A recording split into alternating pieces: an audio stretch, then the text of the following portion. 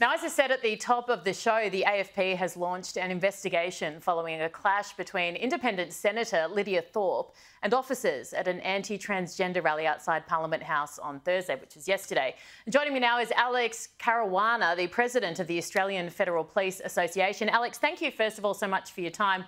What do you make of what happened yesterday? Look, the, the, our officers were there to keep the peace and to make sure that everybody was safe, and that includes the protesters as well as the public. And uh, in this particular instance, the senator got herself in a position where it may have been unsafe, and she wasn't following a lawful direction. So the officers tried to move her on. This is this is in my opinion, and this is obviously pending a an open investigation. But in my opinion, she seemed to have lost her footing a little bit, and the uh, AFP officers were there to lend her a hand to try and help her up and uh, protect her dignity. Is there anything that you've seen in any of that vision that would have you worried for any of the police involved? Look, not really. We did we do, we do see that looks like there's someone there that's looking to get a little bit more aggressive against the senator, and the police officers did a good job to to protect the senator from that person, as well as the private private security that was there, um, that was uh, also uh, you know keeping people safe at that at that event. The day to day work of police is hard enough. Are you appalled that a sitting senator, regardless, I know there's an investigation and we've got to be careful, etc., etc., but is putting not even herself, but police in this position and not just once, not just twice, but three times? Look, it's it's not fair for anybody to use police as political pawns or to score political points. It's also not fair for anyone, whether they're a member of the public or, or, or a politician or anybody, to try and score points you know, on social media or otherwise with police. Police are there to keep the community safe, and that's what my members were doing. It's hard enough being a police officer without this scrutiny, without all of this. Mm um, without all of this extra attention um, that that people are putting on them. Who would want to be a police officer this day and age? And and that you know we are having a, a recruitment crisis here in, in Australia when it comes to policing. Yeah, I want to ask you about that in just a second. I'll follow up. But have you spoken to the officers who were involved yesterday? Look, unfortunately, I haven't d- spoken directly to them, but I have spoken to some of their colleagues and their superiors, and they are, um, from what I've been told, they have been supported quite well by, by AFP, and obviously as an association and a union, we're there to look after them. So our door is always open for them to come in and, and seek the help that they need.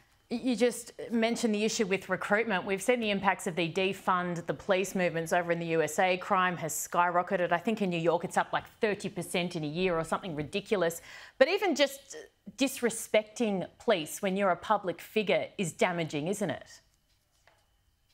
Yeah, well, look, the, the escalating um, escalating occupational violence that police officers all over Australia, and, and in, particularly for the AFP, that they're facing every day, is is atrocious. Um, it's, and it's almost like that the courts give more attention to the rights of the offenders than they do about the rights of police officers. Police officers are human beings as well, and they need to be looked after just just as much as any other human being. So, you know, we're having lots of lots of uh, lots of debate at the moment about you know what's right, you know what's right, what's wrong.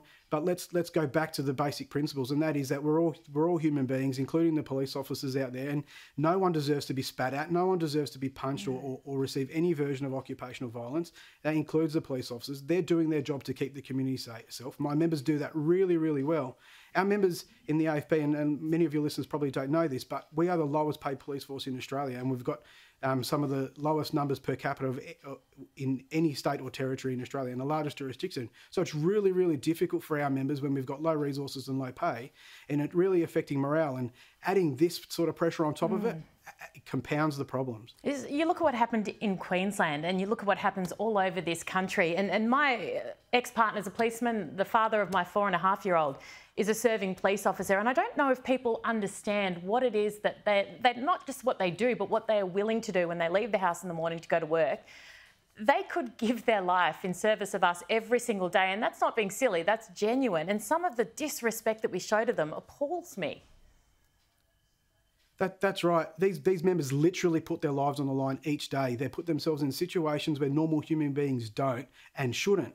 And that's what they get paid to do. So we need to respect them. We need to respect them. We need to respect their families because they are literally sacrificing time from their families and life. We do know that being a police officer does lead to premature deaths. We do have the shortest lifespan, one of the shortest lifespans of any profession, because of the mental stresses and the physical stresses mm. that police officers put their bodies and their minds through. So we really need to respect these people that are doing that to look after the community. Yeah, look, if an individual is out of line, you know, no organisation is perfect, they should be held to account. But on the whole, I just think the mentality that, that is being pushed by some sectors is, is really abhorrent and it needs to be called out. And you've done that today, and I thank you so much for your time. Thank you. Thank you, thank you for your time, Erin. Thanks for having me.